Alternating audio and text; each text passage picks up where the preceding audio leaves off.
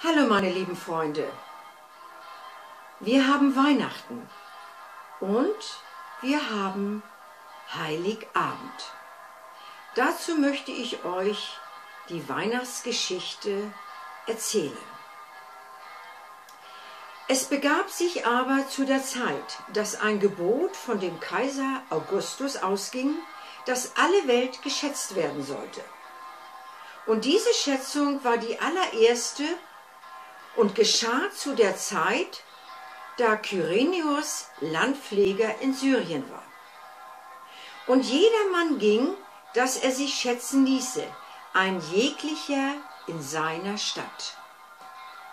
Da machte sich auch Josef aus Galiläa, aus der Stadt Nazareth in das jüdische Land zur Stadt Davids, die da hieß Bethlehem, darum, dass er von zu Hause und Geschlechte Davids war, auf dass er sich schätzen ließe mit Maria, seinem angetrauten Weibe, die da schwanger war.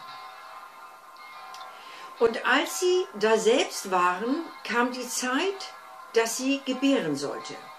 Und sie gebar ihren ersten Sohn und wickelte ihn in Windeln und legte ihn in eine Krippe, denn sie hatten sonst keinen Raum in der Herberge. Und es waren Hirten in derselben Gegend auf dem Felde. Bei den Hirten und hüteten des Nachts ihre Herde. Und siehe, des Herrn Engel trat zu ihnen, und die Klarheit des Herrn leuchtete um sie. Und sie fürchteten sich sehr. Aber da sprach der Engel zu ihnen. Fürchtet euch nicht.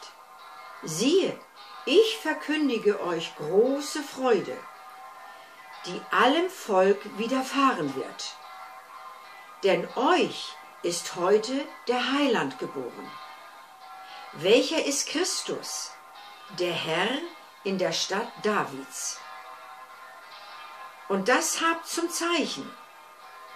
Ihr werdet finden, das Kind in Windeln gewickelt, in einer Krippe liegend.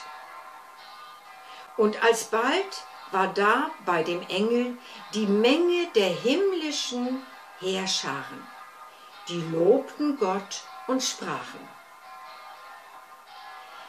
Ehre sei Gott in der Höhe und Friede auf Erden und den Menschen ein Wohlgefallen. Halleluja!